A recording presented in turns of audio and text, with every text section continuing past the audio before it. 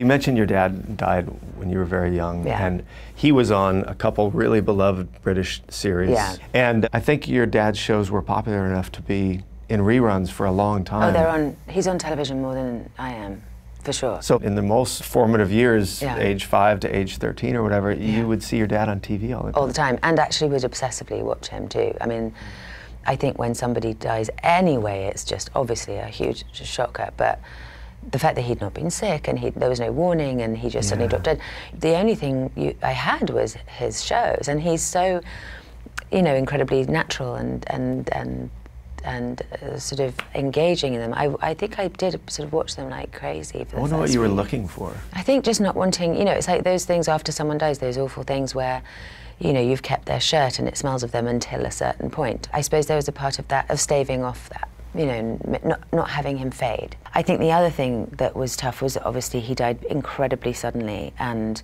shockingly and incredibly young. He was 31. He had a massive heart attack one day and died. And um, I think that was really, it was a weird one because he died in 1979. I think John Lennon was he 1980? I think it was 80. But I remember both of those occasions where people were literally standing in the street reading papers and sobbing.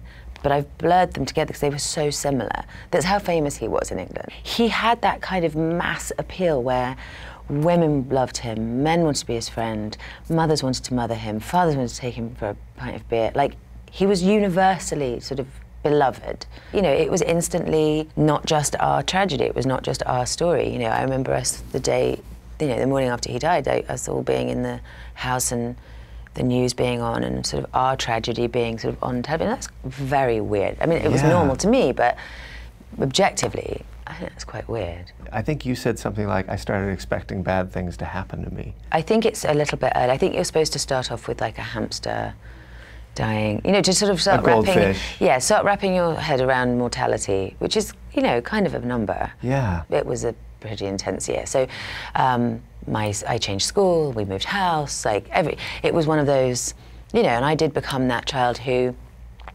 You know, would get very angry if somebody called me a name and, you know, immediately hit them with a chair or, you know, bring the cat to school type thing. Like, I definitely had. Or bring the cat to school. Yes, oh yes, now I'm allowed to bring the cat, you know, and then the cat would escape at school. My mother, like it was that I had a, you know, a couple of years of that sort of thing. But it was a very nice. I had a very understanding and extremely kind of creative and amazing school, so I was not kicked out or you know made to feel bad. They just sort of held me through that period, which was nice.